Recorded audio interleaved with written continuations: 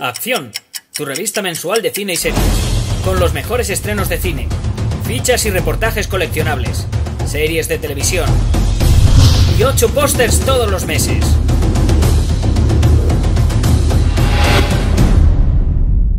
Búscala en tu kiosco. Hola, muy buenas eh, familiares, amigos, seguidores de Acción Cine. Eh, hoy vengo a hablaros de un, un tráiler nuevo que ha salido hace nada. Como veis, hemos cambiado la decoración. Me he mudado recientemente y estoy todavía, por eso las cejas, desmontando y montando la nueva guarida. eh, aunque como veis va a estar mucho más despejada, aunque me gustaría colocar póster por todas partes y tal, ahí en plan locurón. eh, para que todos pudierais eh, disfrutar de un lugar más cinéfilo todavía. Y para mm, celebrar esta nueva vivienda, que mejor que un tráiler para comentarlo con vosotros, a ver qué os ha parecido. Porque debo decir que a mí la primera parte de este tráiler que vamos a ver, que es eh, la película de las Tortugas Ninja eh, eh, 2, Tortugas Ninja 2, eh, no sé cuántos de vosotros la estáis esperando, a mí no terminó de convencerme.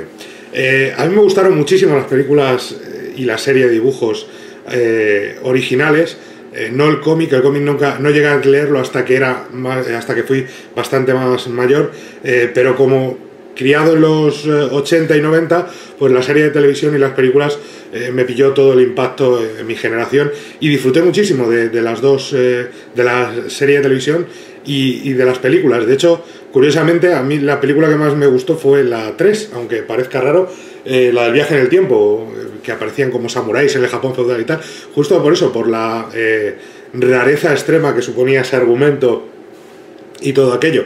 Eh, pero sin embargo, esta película, creo, la, la reinvención que hicieron eh, el pasado año no terminó de cuajarme algunas cosas, eh, siendo un producto muy entretenido, me lo pasé genial y demás, pero había algo que demasiado rollo Michael Bay, se notaba, y, y la sombra de Michael Bay es alargada.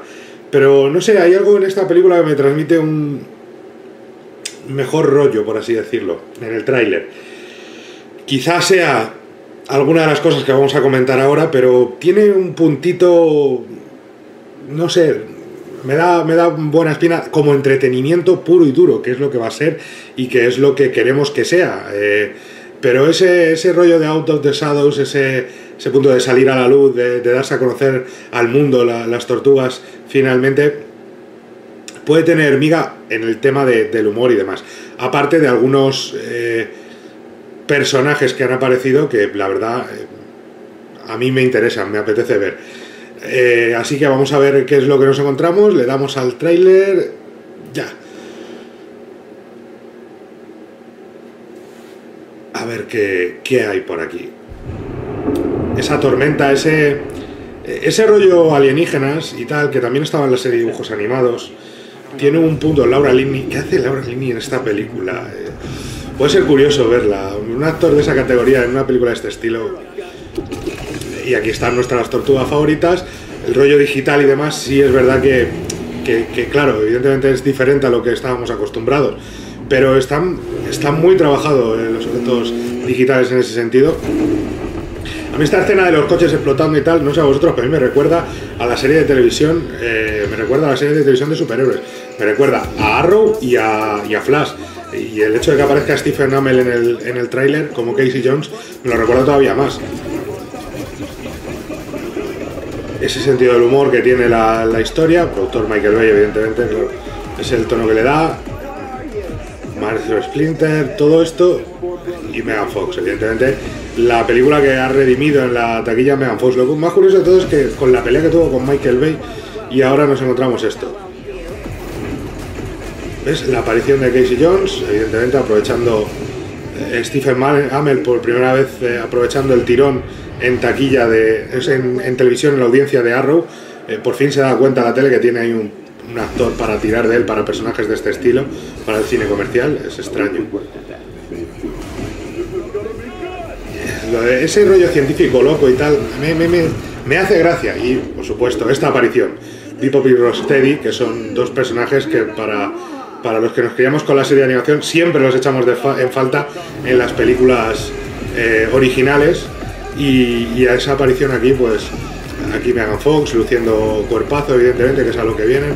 Pero estos dos personajes, y el de, el de Casey, que sí estaba en las películas, eh, Will Arnett otra vez, eh, esos dos personajes me dan un punto de simpático que puede estar bastante gracioso como esta escena con el cañonazo aquí evidentemente el 3D aprovechándolo un montón eh, creo que puede ser muy muy muy muy simpático y creo que puede tener mucho más de lo que, de lo que nos esperamos en primer momento. Eh, como entretenimiento, repito, es como entretenimiento puro y duro, que nadie se imagine que, que, estoy hablando de que nos vamos a encontrar aquí, ya no estoy hablando de, cine de autor, sino simplemente de Mad Max. Esto es más cercano al espíritu de G.I. Joe y de Transformers sobre todo.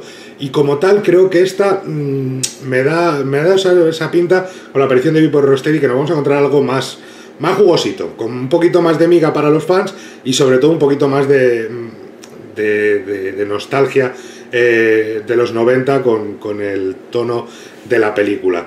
Eh, puede estar muy simpática, puede convertirse en uno de, de los éxitos del verano, evidentemente va destinada a ello, eh, aunque hay que recordar que a veces las secuelas no consiguen el éxito en taquilla que, que, la primera película. Sobre todo en este tipo de reboots y remakes eh, es peculiar. Yo recuerdo, voy a poner un ejemplo que puede parecer muy alejado, pero no tanto si estudiamos el porqué. Cuando se estrenaron Los Pitufos, Los Pitufos no fue un exitazo en taquilla en todo el mundo, un taquillazo mundial. En Estados Unidos ni se lo esperaban. Y era en gran medida porque los padres eh, que se habían criado con los pitufos, que ahora eran padres, llevaban a sus hijos para que disfrutaran con ellos de algo con lo que ellos se habían criado. Eh, el efecto era similar con las tortugas ninja, de la que nadie esperaba que fuera un taquillazo, estuvo cerca de los 200 millones de dólares solo en Estados Unidos.